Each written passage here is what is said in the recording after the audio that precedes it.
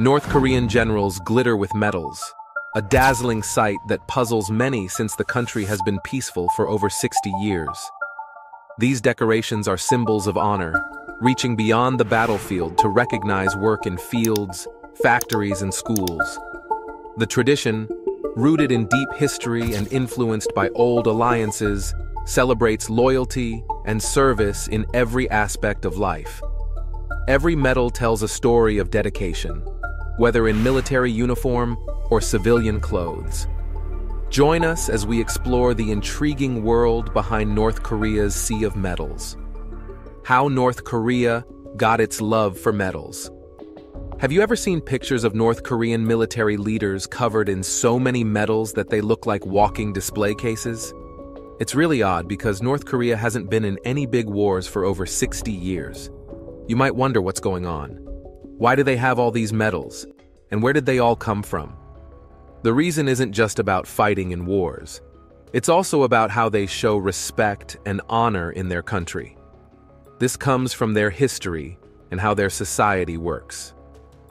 We're going to explore why North Korea shows off so many medals and where this tradition started.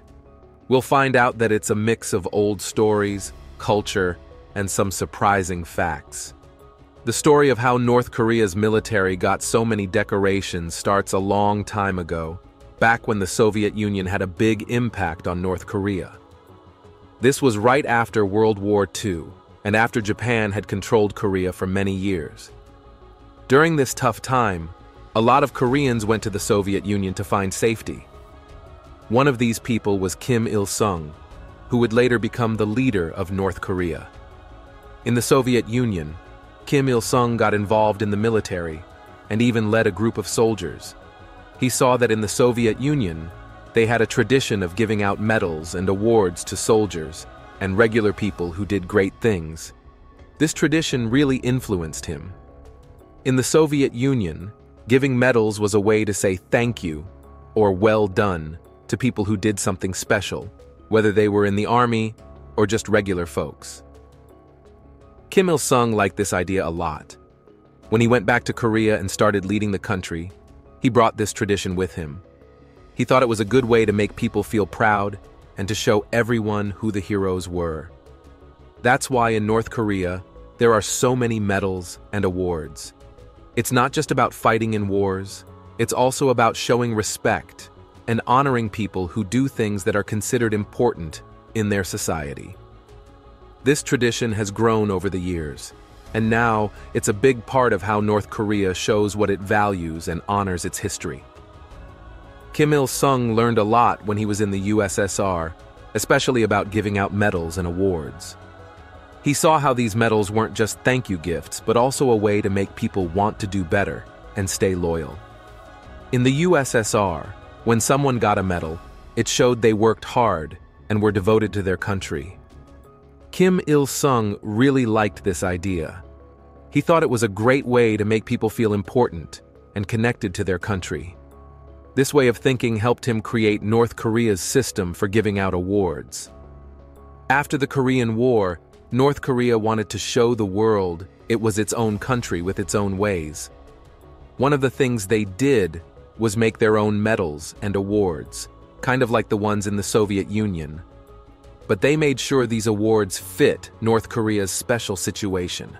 They started giving medals for all sorts of things, not just fighting in wars. People could get medals for being good at their jobs, for teaching well, or for helping out in the community. This new system was about taking the idea from the Soviet Union and making it work for North Korea. Kim Il sung and other leaders saw how giving out medals could bring people together. They thought that if people felt they were part of the country's story by getting awards, they would work harder and support the government more. Giving out these awards also helped Kim Il sung keep his power. When people got medals, they were being told they were doing what the leader wanted. This made people want to show they were loyal to him and the country. As time went on, North Korea made more and more types of medals for different kinds of good deeds. There were medals for being brave in battle, but also for doing well in science, making things, and helping out in the arts. This showed that North Korea valued many ways of helping the country, not just fighting. In North Korea, it's hard to tell the difference between being a soldier and being a regular citizen when it comes to getting medals. This is because the government wants to show that everyone, no matter what they do, is important to the country. The idea is to make everyone feel like they're part of the army in some way. This isn't just about making sure the country is safe. It's also about making everyone feel they're working together for a bigger goal. But it's not only soldiers who get these medals. In North Korea, people from all parts of life can get them. This includes people who do really well in their jobs, like farmers or teachers, not just those in the military. This shows how North Korea mixes being brave in the military with being good at other jobs. Everyone's work is seen as part of the bigger effort to make the country better. The way North Korea sees things is very connected to the military. This isn't just about fighting or being ready to fight. It's about using the discipline and order from the military to bring everyone in the country together. The government uses this way of thinking to teach people to love their country and work hard for it. This is where the medals and awards come in. They're a way for the government to say thank you and well done to people who help reach the country's goals. Because of this focus on the military, getting a medal is like saying you're helping to build the country, whether you're a soldier or not. This has created a special culture in North Korea, where all kinds of good work are celebrated as part of serving the country. Next, we explore how North Korea's medals aren't just for soldiers, but also for everyday heroes and achievements. Every job counts in North Korea's medal game. In North Korea, getting a medal isn't just for being brave in war. People can also get medals for doing everyday things really well. This might seem strange, but it's all part of how the country works. For example, someone could get a medal for being really good at fishing. This might not sound like a big deal, but fishing is very important in North Korea. It helps make sure there's enough food for everyone and supports the economy. So when someone gets a medal for fishing, it's like the country is saying, Your hard work is helping all of us. This makes regular jobs feel just as important as being a hero in war. But it's not just fishing.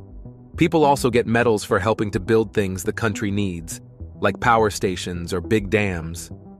These projects are super important for keeping the lights on and the water running.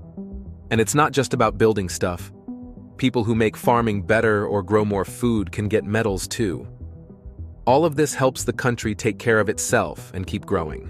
When the government gives out these medals, it's like they're giving a big thank you to the people who did the work it's also a way to tell everyone else, see what they did? You can do something important too. Giving medals for these kinds of jobs does a lot more than just make people feel good. It brings everyone closer together and makes them want to do their best for the country. It's a way to show that every job, big or small, is part of the big plan for North Korea. It doesn't matter if you're a soldier or a farmer or a builder, Everyone's work is seen as a way to make the country better.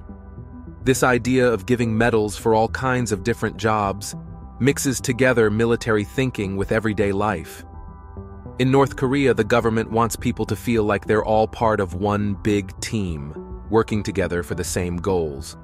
By mixing military ideas with regular jobs, the government is trying to spread its way of thinking to every part of life. This means that no matter what your job is, you're seen as helping to protect and build the country. In North Korea, even everyday jobs like farming or mining are celebrated with medals. This might seem strange to us, but it's really important there. For instance, if someone does an outstanding job in coal mining or growing crops, they might get a medal.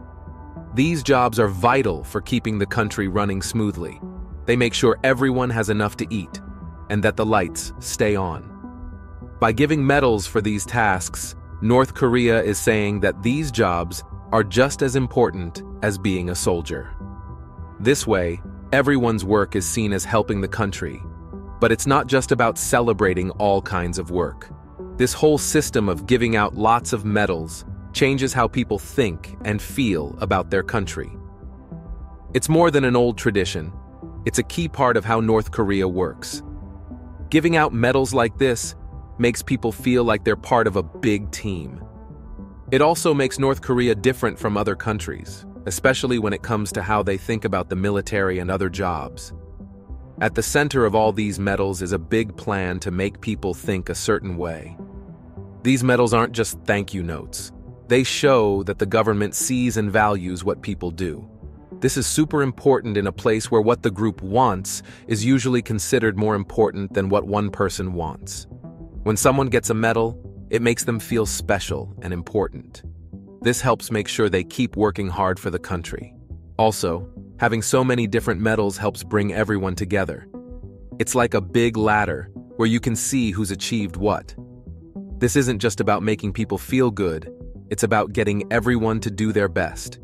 People see the medals and want to get their own, so they work harder and try to do really well at their jobs.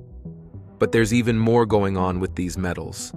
They're also a way for the government to make sure everyone thinks the same way. Each medal is for doing something the government thinks is good.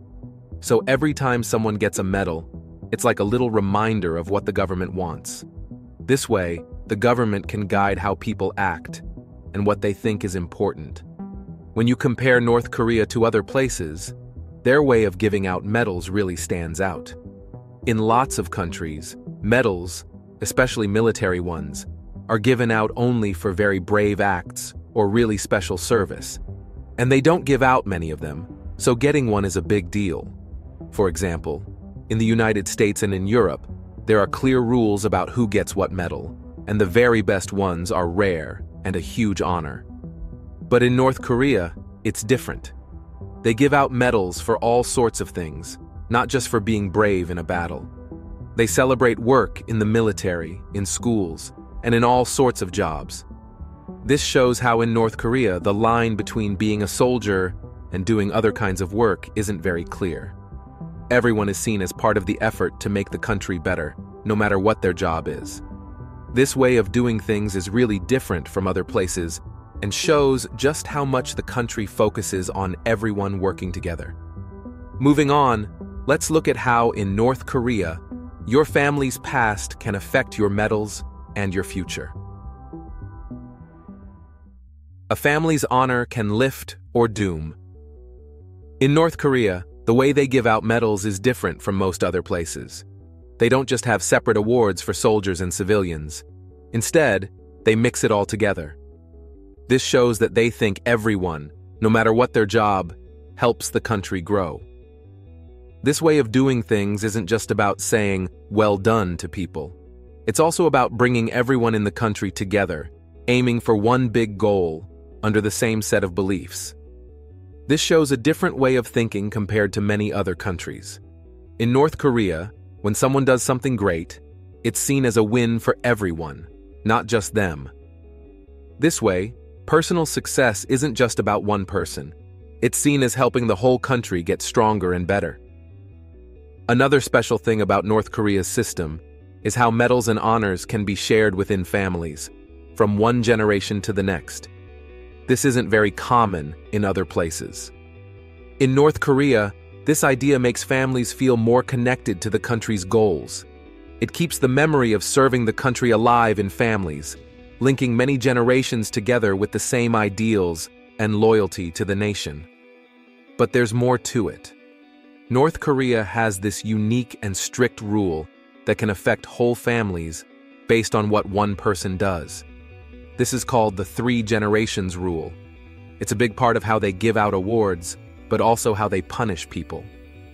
This rule means that what one person does, good or bad, can impact their parents, their kids, and even their grandkids. This idea has old roots in Confucian beliefs, which stress the importance of family and working together. However, North Korea uses this idea in its own way. Originally, this rule was made to make sure everyone stays loyal to the leaders and the country's way of doing things. It's meant to stop people from disagreeing with the government or leaving the country by making their whole family responsible for what they do. The goal is to have families watch over each other so that everyone sticks to the rules and supports the state. By linking families like this, the government uses strong family feelings and the worry about getting everyone in trouble to keep control and make sure people follow what they're told.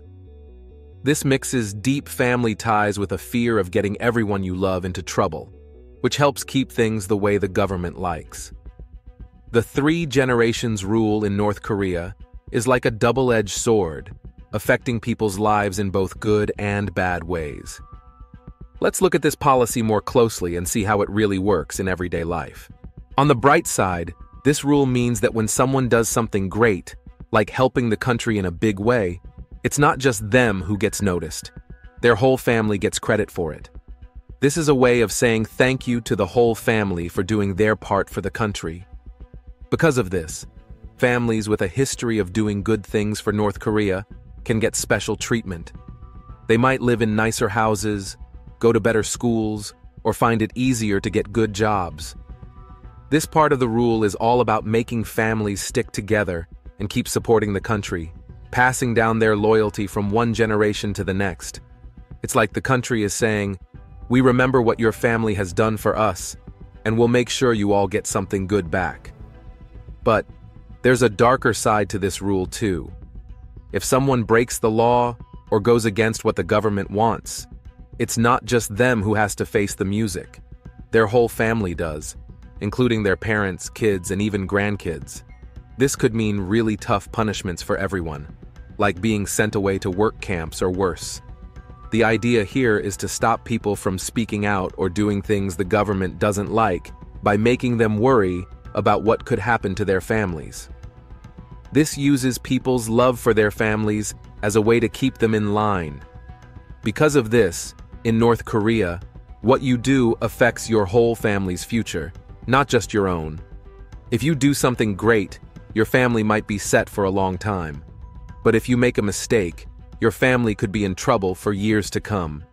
This makes everyone very careful about what they do and say, since no one wants to be the reason their family suffers. This deep connection between individual actions and family fate has a huge impact on how people act and think. Knowing that your choices can lift up or bring down your entire family makes everyone very focused on following the rules and showing loyalty to the country. It's a way to make sure that everyone is working together towards the same goals, but it also creates a lot of stress knowing that one wrong move could hurt your loved ones for a long time. The three generations rule has also changed how North Korean society is structured. It's like there are invisible lines drawn around families, deciding who is trusted and who isn't based on what their ancestors did. Families known for being loyal to the government are treated well and often given awards and other honors, which keeps them loyal. On the other hand, if a family is labeled as untrustworthy or rebellious, they can be locked out of opportunities and face a lot of challenges.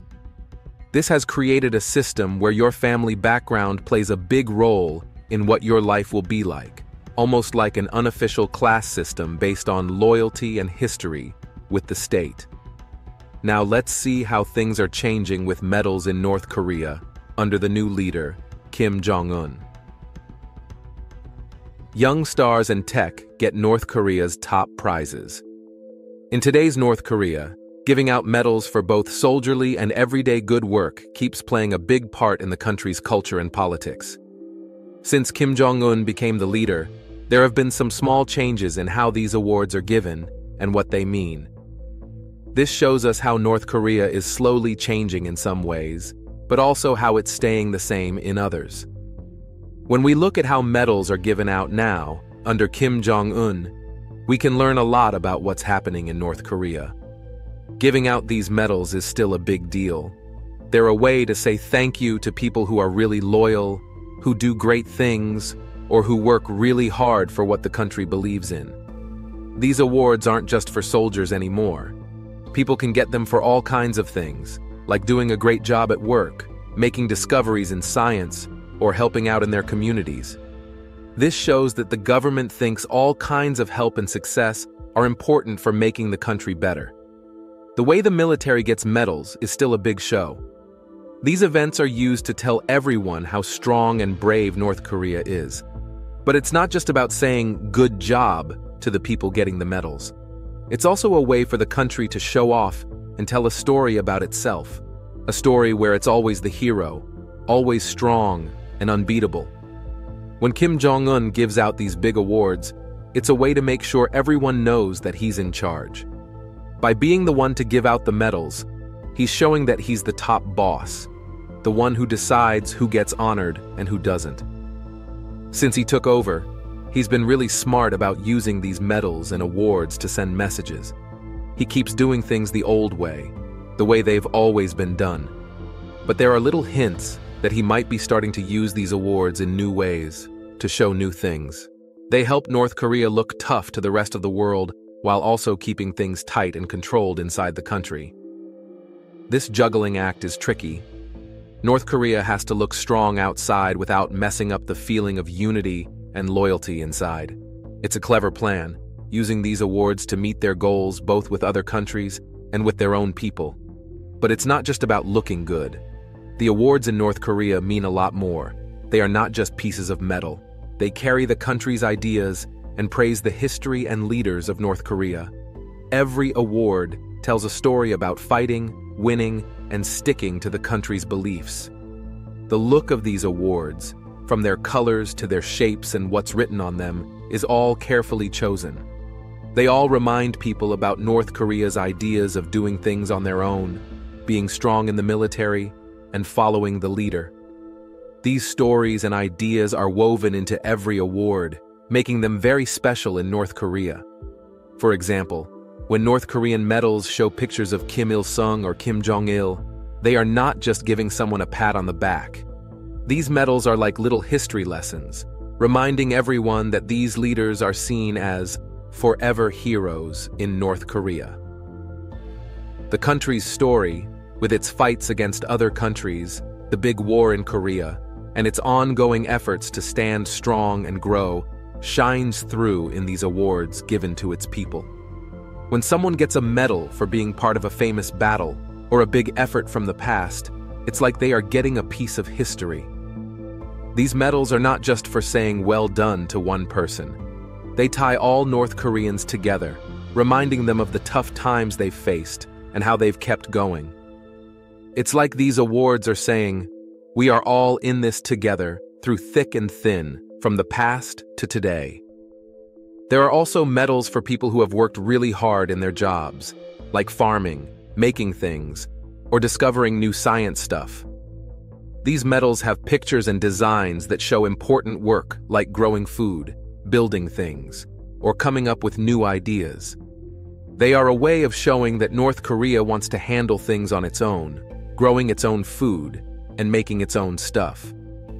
By giving out these medals, the government is telling a story. Look how far we've come by working hard and being smart, all thanks to our great leaders. These medals tell everyone to remember the old days, to feel proud of surviving tough times, and to keep pushing forward. The way North Korean medals look is really important in showing what the country believes and values. These medals are more than just rewards. They are a way to show off big ideas like strength, togetherness, and how special the people who get them are in the country. When you see these medals all over a soldier's uniform, it's like a big billboard that says, Look how strong our military is and how brave our soldiers are. It's not just about one person looking good. When a uniform is completely covered with medals, it's like a big, shiny show that tells everyone, we did all these great things together.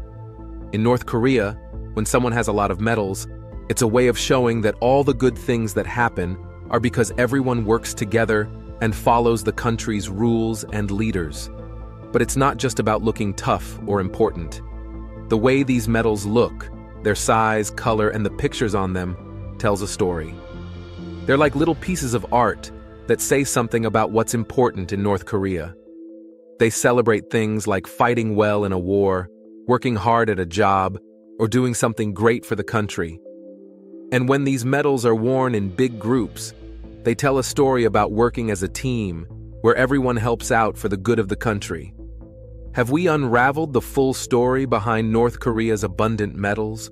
Or does a deeper, untold narrative lie beneath their shimmering surface? Share your thoughts below and dive into the conversation. And don't forget to like and subscribe for more explorations into the world's most mysterious phenomena.